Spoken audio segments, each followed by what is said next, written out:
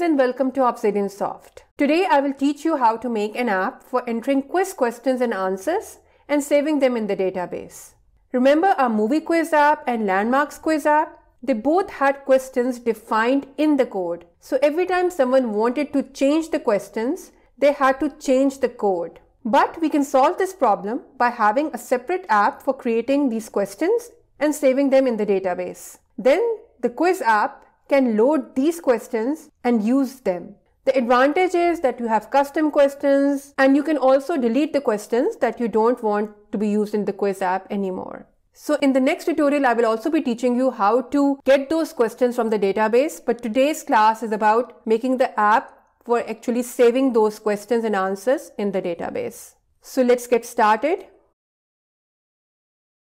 I have already talked about how you can make a free database that is accessible by two different apps in a previous tutorial. The process is super easy and takes less than 5 minutes. So please make that Redis cloud database first. As you can see that I have my database here that I had created in a previous tutorial. Then open up MIT App Inventor, click on Projects, Start New Project, name it Create Quiz App.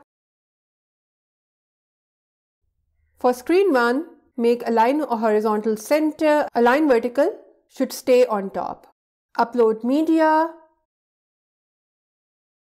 I got this background from Vecteezy. I will give the link in the video description.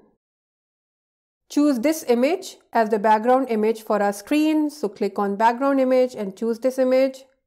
From layout, drag two horizontal arrangements. Make both of them align horizontal center, align vertical center. Height is 20% and width is fill parent.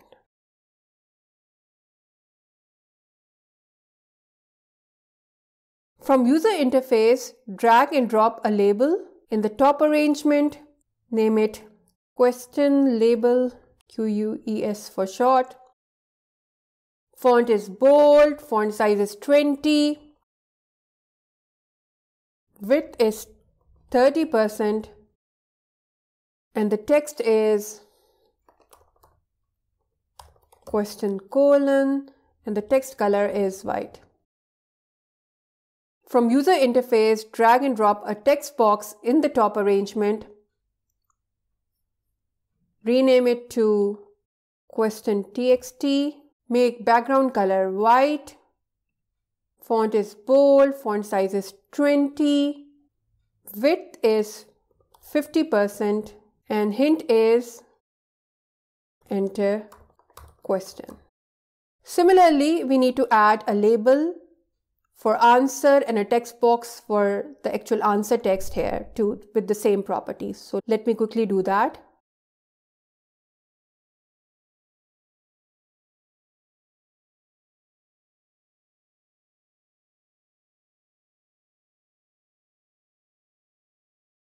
Same properties.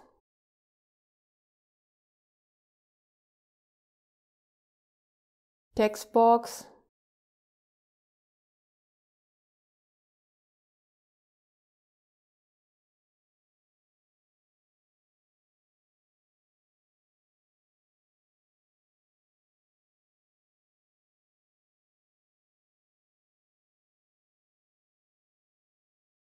Now we need a button, so drag and drop a button below these two horizontal arrangements.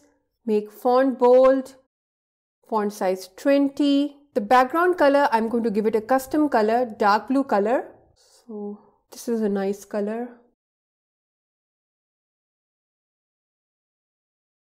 Shape is rounded and the width is 40%. And I'm going to change the text to submit and the text color is white. Let me rename the button to so submit button. Okay. I'm going to drag and drop a label here. This is just for spacing. So the height is 2% and there is no text in it. Okay. Now I need a list view which will show my question and answers that have already been saved in the database. Okay. So just drag and drop a list view here the background color is white and make sure that you change the text color to my custom color. So I'm just going to go and copy the custom color from here. And for the list view, I'm going to give the text color the same color. Paste it here. Okay. And last but not the least, I'm going to drag and drop from the storage a cloud DB.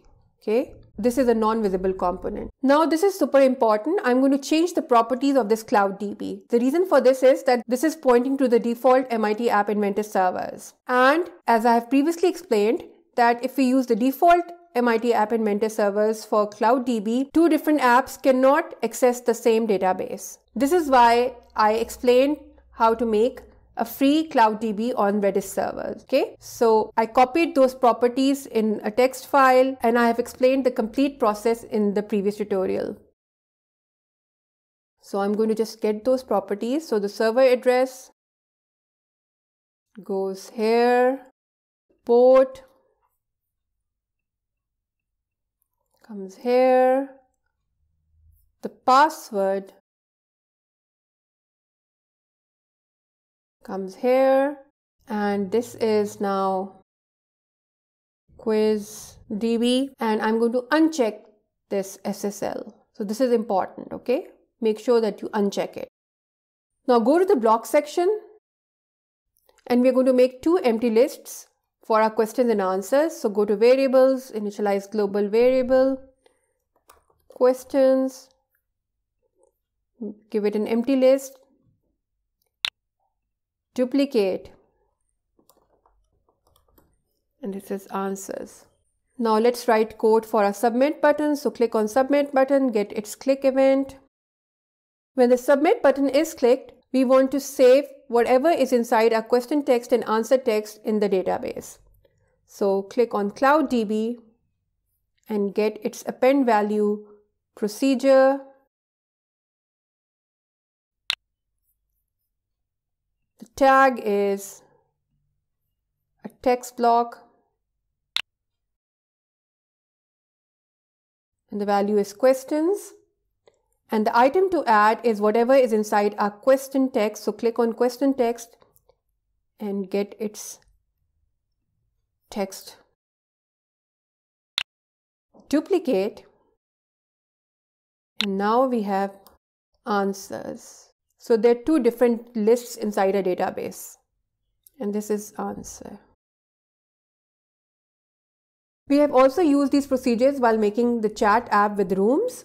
The append value to list triggers the data changed event of the CloudDB after successful storage in the database. So go to CloudDB and get its data changed event. So when the data is changed, we are going to get the tag for which the data has been changed and we are going to get whatever has been successfully saved inside the database okay? So first of all we are going to check what the tag is okay? So go to control get the if then else block go to text get the compare text block. Inside here we have get tag on the left hand side First of all, change this to equal to and on the right hand side, we have our text, our tag value, which should be questions. So if the tag is correct, that is, it is for the questions, then whatever has been successfully saved in the database, we are going to put it inside our questions list. So get the setter, make it questions and give it the value that has been returned by the Cloud DB. Otherwise, it is answers, so just duplicate it and make it answers.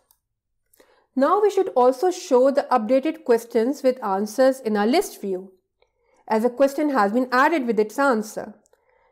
Let's first quickly make an empty procedure for that and call it display questions. So just go to procedures, the procedure block, name it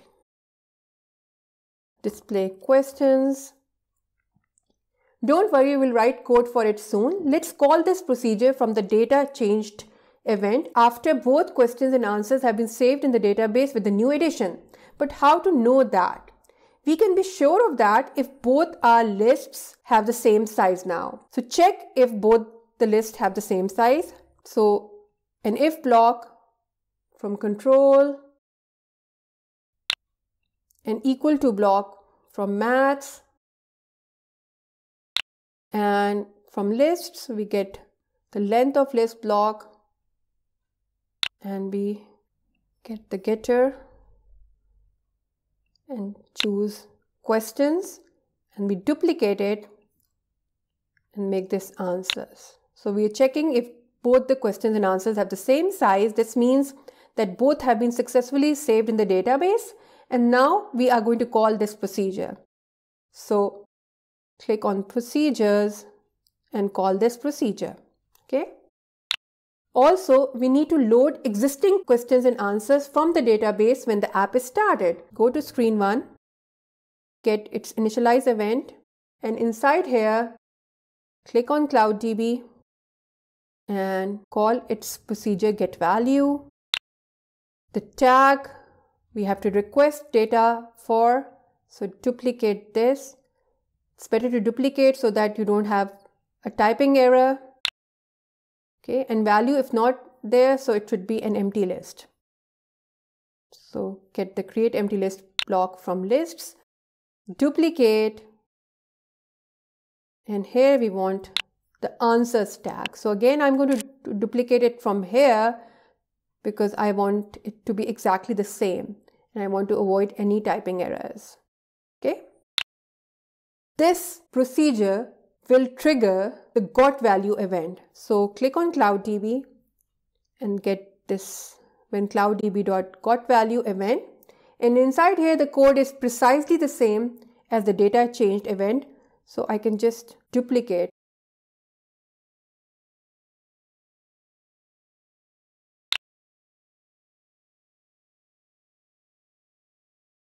Okay, so exactly the same code as data changed event is inside the got value event. Now let's work on our display questions procedure. So let's come here. I'm going to make a local variable for a list. Unlike a global variable that can be used and accessed anywhere in the code, a local variable, as the name suggests, can only be used in the script where it has been created. For example, this procedure. So let's define a local variable in the display questions procedure by going to variables and getting this first block. I'm going to call it LV list. I'm going to make it an empty list. Now click on the control block and we are going to use this special procedure for going through a list. So this for each number block and here I'm going to go through both the question and answers list and make a new list by appending the values inside the question and answers one by one. So for each number from 1 to the size of the questions list. So I can duplicate this. Okay. So this will give me the length of my questions list. And I'm going to go one by one. So this means that start from here, go up till here and increment the loop by one. Okay. So this number, a one will be added to it every time we go through the loop and it will go on till the number becomes bigger than the length of the list and then we will get out of the loop. Go to list and get the add items to list block and inside here the list is my this list so hover over it get its get block the item is a join I want three text values here. So I'm just going to click on the cog wheel and make three strings here. The first is whatever is inside a questions list for the index denoted by the current value of number. So go to list, get select item from list and the list is the questions list. So I can just duplicate this one and the index is get number. So hover over it and get its getter. Here I have just a text block that has a colon inside it Okay, and I'm going to put a space before the colon and after the colon. Okay, and just duplicate this one, and now this is the answers. Okay, and when we get out of this for loop, I'm going to assign this newly constructed LV list to the elements of my list view. So click on list view and click on set elements and duplicate this. So yes, the list view has been constructed. Lastly, add code for deleting questions when someone taps on a question. The deletion code is similar to the shopping list app that I've already taught you before. We use list views after picking event. So click on list view and get its after picking event. And whatever has been picked is marked by the selection index. So I am going to remove. So click on list and click on remove block and drag it here. And our list is the questions list. So just duplicate it from here and our index is the selection index. That is, whatever has been tapped by the user should be deleted from our questions list. As you know that our list view list has exactly the same number of items as our questions list and our answers list. So the selection index is correct too. So click on list view and get the selection index. Okay. Remember that we have to delete from the answers list too. So duplicate and choose answers. Last but not the least, we have to store the changed questions and answers list in the database. So click on CloudDB, get its call the store value procedure. to tag, as you know, is questions. So I'm just going to duplicate here. and the value to store is our newly updated questions list. Again, call the procedure, but now we are going to store the answers list. So let me get the tag for the answers. I'm duplicating it so that I don't accidentally introduce a typing error here. Okay, so this is done. This will not work on an iOS device as it gives an authentication error with the Cloud DB on Redis. I hope you like this video. Do share it with your friends and family. And if you haven't subscribed to my channel, kindly do so so that you don't miss any of the great things that I have planned for you. In my next class, I will teach you how to make an app that loads these questions and answers from the same DB. Thank you for watching this video. Have a good day and goodbye.